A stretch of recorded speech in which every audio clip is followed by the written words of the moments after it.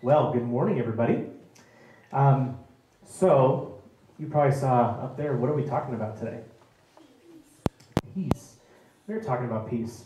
but you know, to talk about peace, I'm gonna I'm gonna grab a character. Now, have you guys seen this thing up here?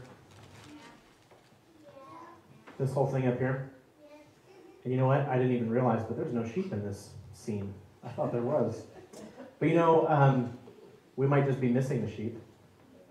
We must be missing the sheep because we have the shepherds that shepherd the sheep and no sheep. We have a donkey and a horse.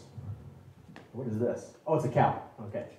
Um, but a sheep and all the animals really. You know, there were so, there were lots of animals that were probably present when Jesus was born, right? That's why when we have a, a little nativity scene up there, we have we often have lots of different animals up there too. Because um, what did. Oh, there's a baby on there. I didn't even notice that. Okay, perfect. So here's a, here's a little lamb the shepherd's holding. And, um, but what did Jesus, what did, what did Mary ride into Bethlehem on? Do you remember what it said? Oh, let me get my, my hold on. They raised their hands. A donkey. That's right. And yeah. And what um, what do you think might have been in the place where Jesus was born? Some other things. Hold on, Malia didn't get the answer yet. Um, a. No, what's in the place maybe that she was born? Um, a temple. A temple? Well, no, he wasn't born in a temple. We talked about that last a time too. A manger.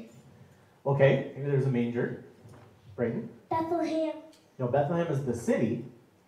But what about where he was born? What do you think was, was around? Um, there's probably hay and just wood. Yeah, and what do you think the hay was for? The animals, that they could sleep on it.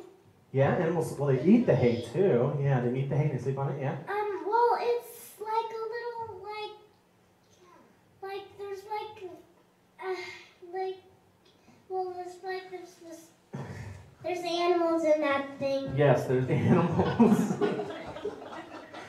um, yeah, and probably, probably there was um, the donkey was probably around, right? Because they needed they they brought the donkey, and so they probably had the donkey with them, right? And maybe there was even a, a horse or a, um, some cows, and probably some sheep, right? Have you guys ever seen an animal sleep? Um, and also there's dogs and an angry soldier chasing them. Well, that's from the movie The Star. Yeah. And that that that's probably not exactly yeah.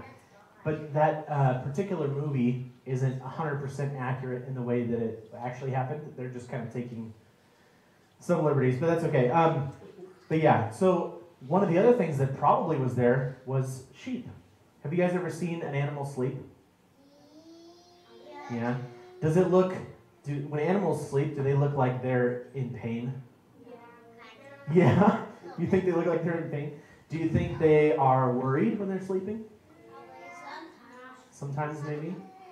Do you think they are excited when they sleep? What would be a word you might use for when an animal sleeps? What do they look like? Tired? Well, tired would be maybe before they fall asleep. What might be another word you could use to describe it? Not well, maybe maybe sometimes they look dead, yes.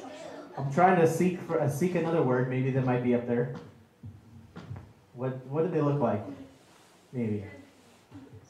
Peace. Yeah, they, don't animals kind of look peaceful when they're sleeping? And so do people sometimes if they're not snoring or or drooling, right? but they look very peaceful. That's very true. Um, you have one, Jackson? What? That um people go poop.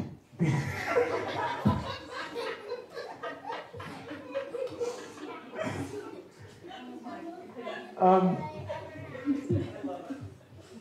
yeah. Um, well, yeah. Uh, let's go ahead and pray.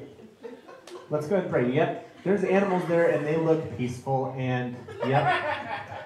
Let's go ahead and pray. Lord, Lord, uh, whew, we thank you for these kids and for their their minds and the joy that they have and the tears that they bring in a good way. Um, we just thank you for each one of these kids. We we pray that you would help them to see and understand the peace of this season as well that Jesus brings. So we thank you in Jesus' name. We pray. Amen.